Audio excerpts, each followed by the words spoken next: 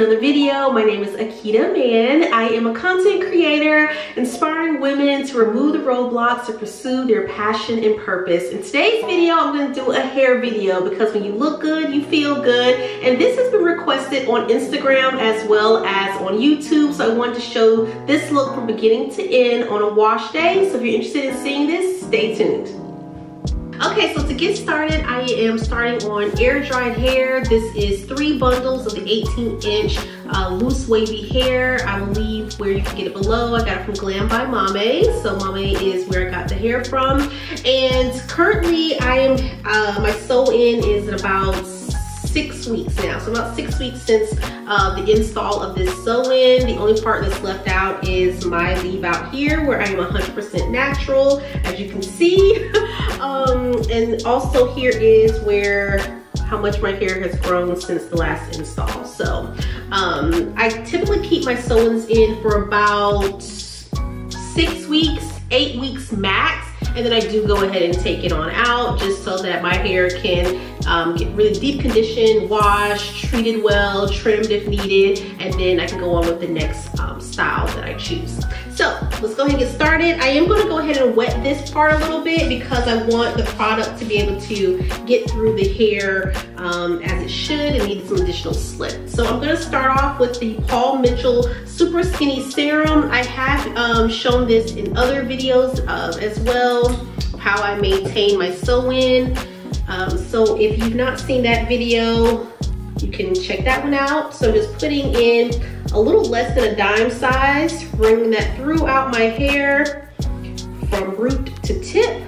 And I'm gonna use this wide tooth comb and just really make sure the product gets through there.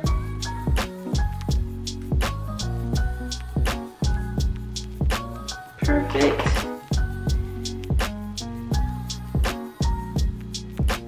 And then I'm going to apply um, some heat protectant. I have the Tresemme heat protectant. Um, it's a five benefits in one. I do also use Chi as a heat protectant as well. So I'll switch between the two.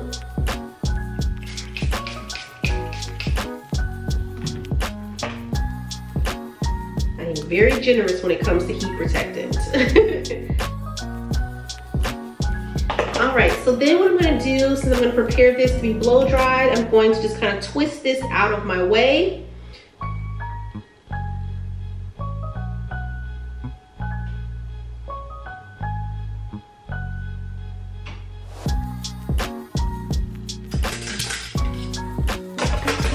I'm gonna use a little clamp from Sally's or TJ Maxx, I think.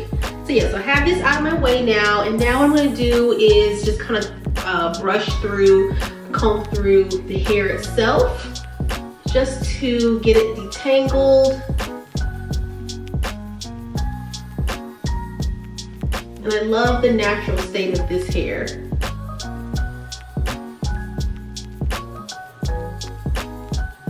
Which if you'd like, you can wear it in its natural state. I am going to wear it um, wand curled just to really define the curls more. And even with applying heat to this hair, it does revert back, which I love, love, love about Maame's hair. And it also, um, um, I've had this hair, I was gonna say the length of time I've had this hair. I've had this hair now for about um, two years. Yeah, so I've had this hair for about two years now.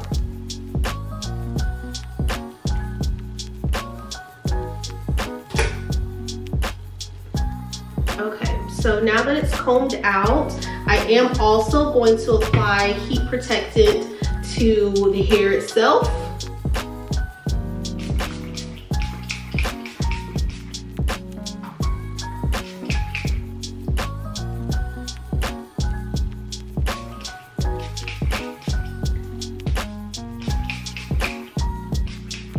Again, I want to be very generous when it comes to heat protectant. I do not play. Next thing I'm gonna do is I'm gonna take this um, dryer, um, which, I, which I'll show you in a minute. It's a hooded dryer that attaches to a uh, blow dryer nozzle. which I did get this from Amazon, um, both of these, so I'll link it down below for you. So once I do that, I just remove the comb that I have attached. I will end up reattaching it so that I can blow dry my leave out, but um, until then I'm going to just sit down, do a little bit of work, and then um, just sit with the hooded dryer on with the blow dryer attachment. And this way I'm, going to ensure that my hair and braids underneath here is fully dry. The worst thing you can do is um, have your hair wet and then continue styling without making sure your hair underneath is completely dry. It will smell, mildew, um, it cause bacteria and you just don't want that. So you wanna again ensure that your braids and hair is protected and completely dry underneath um, your install. So let me go ahead and do that and then I'll circle back.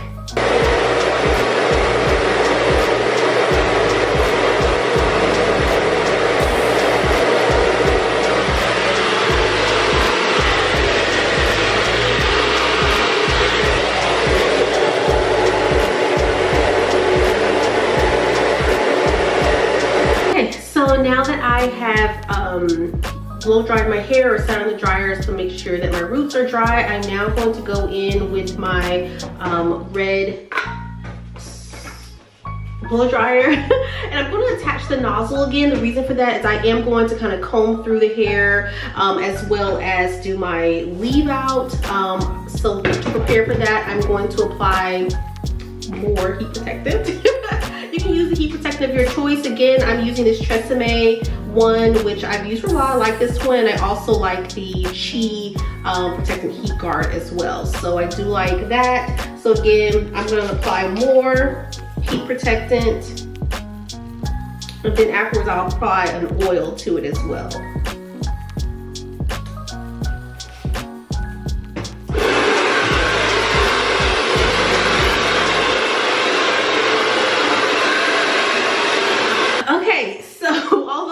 Is done you can see the hair is significantly bigger which I love love love. Um, but again the hair itself isn't compromised. Um, the curl pattern is still there. Just again if you want to wear it in its natural state you're welcome to do that. And if not you can go ahead and curl it as I'm going to do today. Um, so I'm going to start out by going ahead and um, uh, do I want to do this first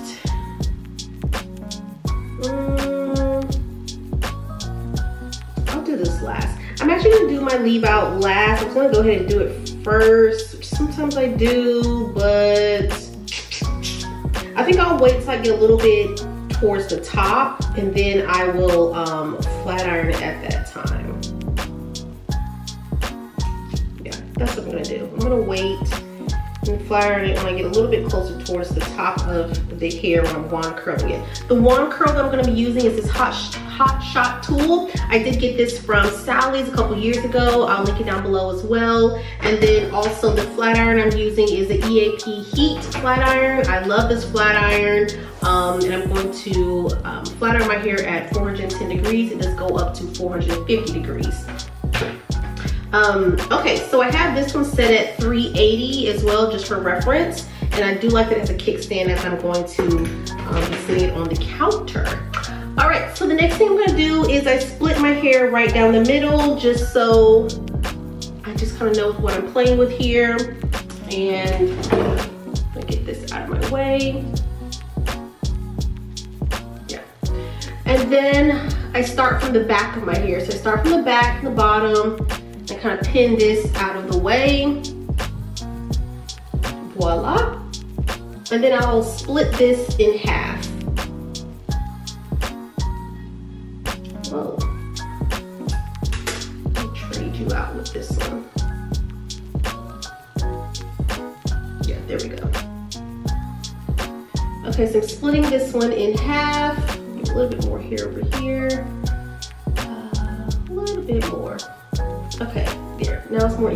Split. And then I curl, some people do different types of wand curls. So they'll wand um, towards them, then some away. Um, it just depends on the look you're going for. I like all of my curls to go away from my face on opposite sides. So I'm gonna start here. And as I'm going, I'm also twisting the hair, as you can see. I leave it on for about 10 seconds.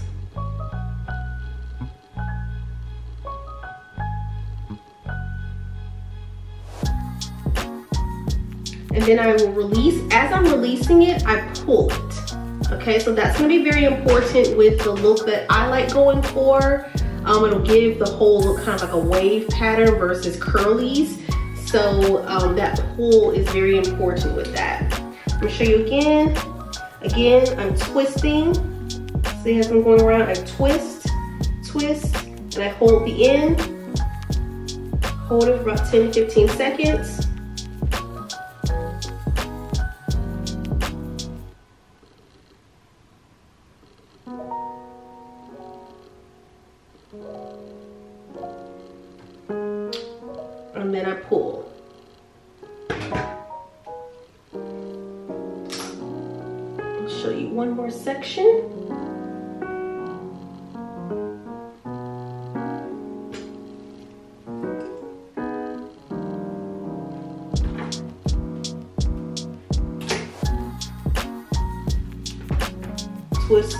Away from my face. Twist it, twist it, pull the end.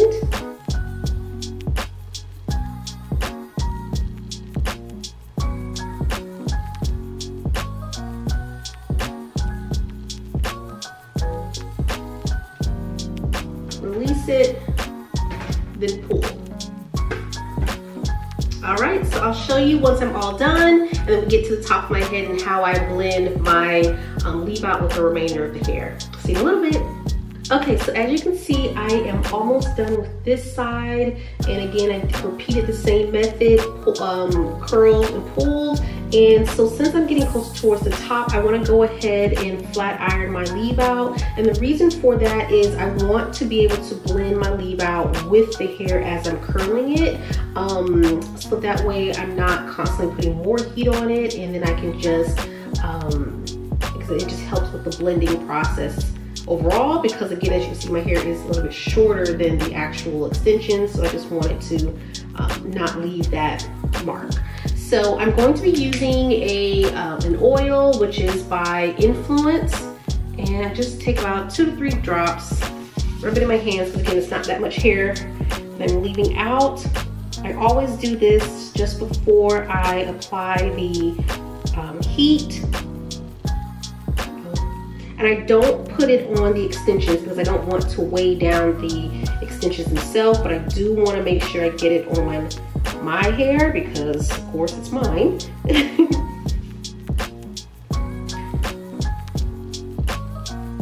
okay, so now that I have that in, gotta comb it through as well.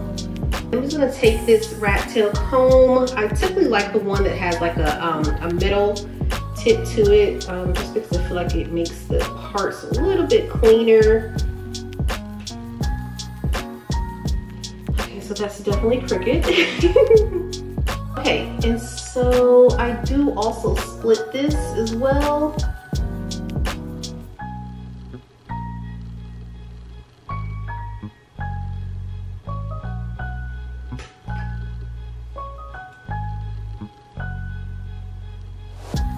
And I only split it depending on how much hair is left out. Um, because again, it's not always necessary. But since I have a little bit more hair left out, I wanna make sure it's straight and I can get as close to the root as possible. So again, I have my EAP Heat Flat Iron. It's on 410. And I just do one pass. And I just do it straight. Only smoking up because I just freshly put the um, oil on there. It's not burning my hair.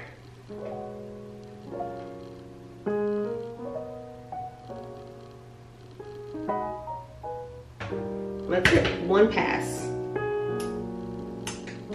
Y'all, remember that video I did with that when I found this first gray hair? I still so far only see this one, so she's hanging on in there. Gonna do the same thing here. I'm just gonna split it.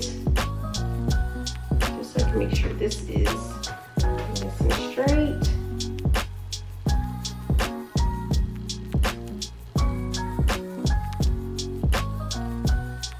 One pass.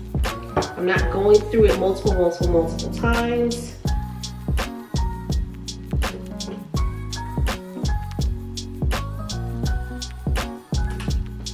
Some people do the comb chasing method. I have not perfected that. So let's try it. Let's see if I can do it today.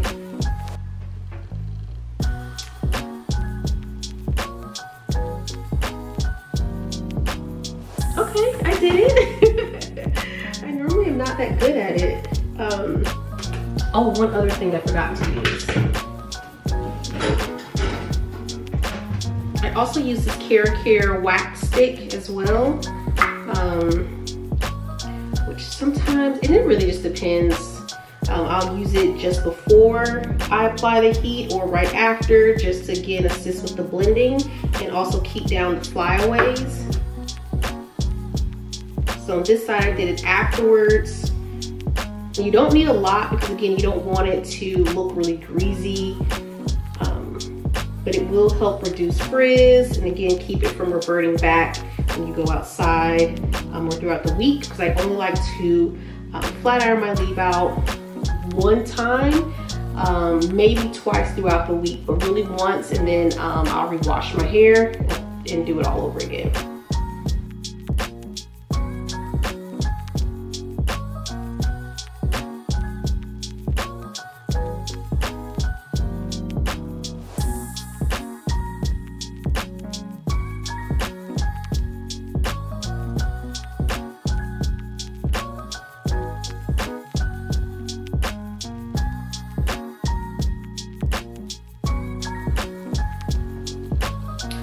Okay, so I have the top of my hair is blended into this, the extension hair. I'm going to do the same method. I'm definitely gonna make sure I leave it on for 10 seconds because again, since my hair is up there, I don't wanna um, have a lot of heat on my hair.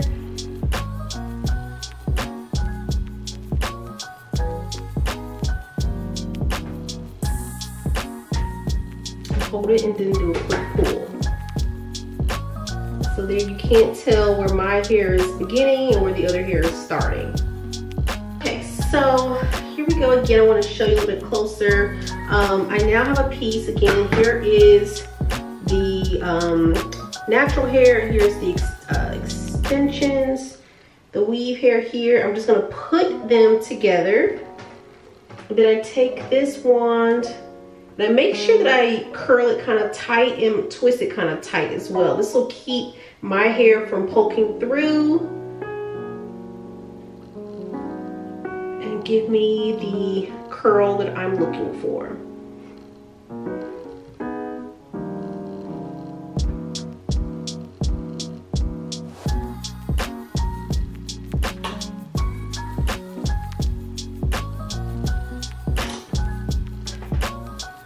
And here's the last piece here from the top. And as you can see, my hair is perfectly blended. I'm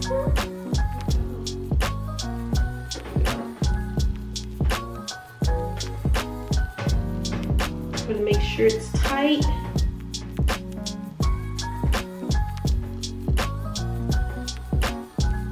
Okay, so it has literally taken me all day, but I've stopped. I really have been going kind of back and forth. So as you can see that this side has already started to drop and then this side is the fresher side. So I just finished this one and then this one, um, was because I did this like three hours ago. It's already starting to drop a bit. But um, again, just wanted you to be able to see the difference. So here's one side, here's the other side here is my hair blended into it. So now I'm just gonna finish it off. I'm gonna use this KeraCare Oil Sheen. Um, I am gonna be kind of light-handed with it because um, this is very moisturizing and I don't want my hair to, again, become um, weighed down.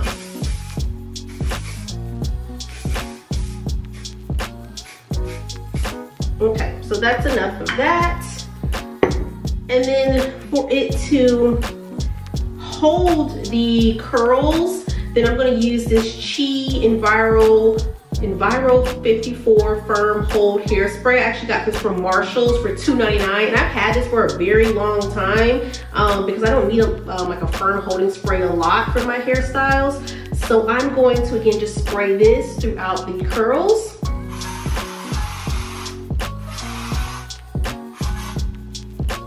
Just, just kind of push them up a little bit. And then I'll do the same for the other side.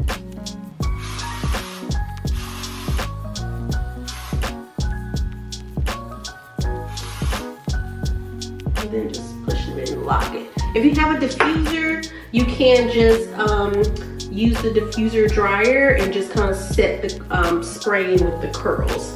Um, so I'm not gonna do all that. And because it's already evening time, started earlier this afternoon. So again, here we are with the finished look. Wanted to show you here how to achieve this look and also um, regarding how I maintain it as I'm getting ready to like go somewhere. What I'll do is I'll just start separating the different curls, which will make it a little bit bigger, more voluminous. And then for the most part, it'll stay about this length. And then as it gets older, I'll just start brushing the curls out and give me a very nice um, wave, like it'll just look really wavy versus more curly. So again, to um, maintain this style so you don't have to keep redoing it, I'll take um, this piece here. How I would curl it is I would just make sure that I do the same way I did the curling one, just curl back.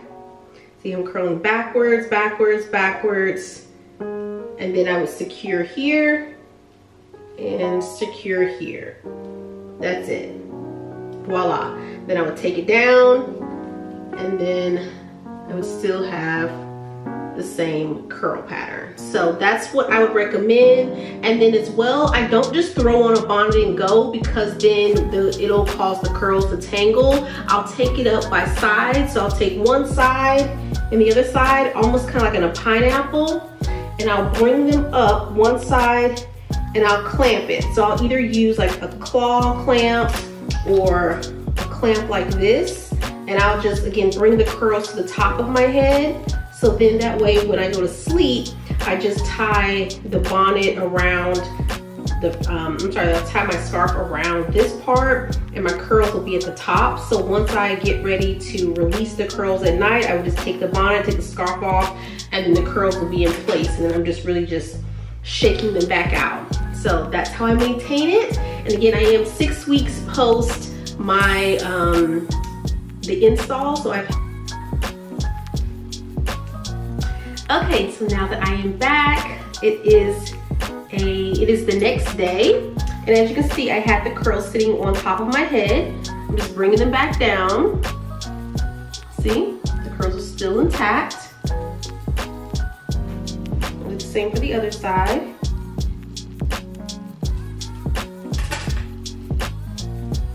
See how they're just falling intact, falling in place.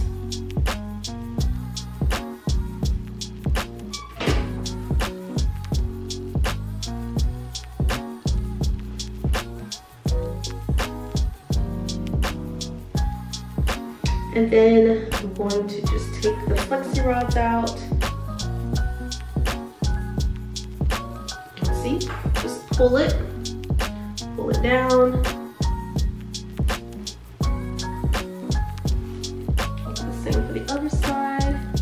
And again, I really like doing this method, especially for my leave out because I don't want to have to keep applying heat to it. I just pull it and stretch it down, pull it, stretch it down. And as you can see, it has blended in with the rest of the um, extensions.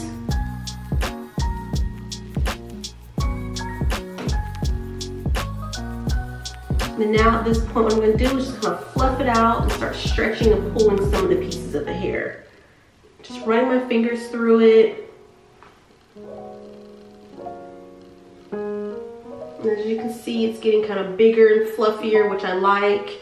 And again, as long as you continue the method of um, putting your hair up in a pineapple, like me placing the curls on the top of your head when you go to sleep, you won't have to keep redoing your hair.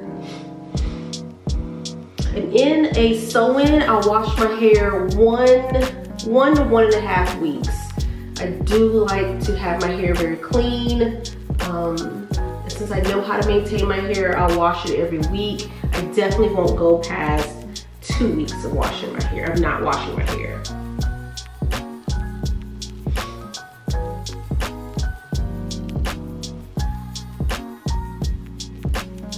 And voila. so here is the finished look.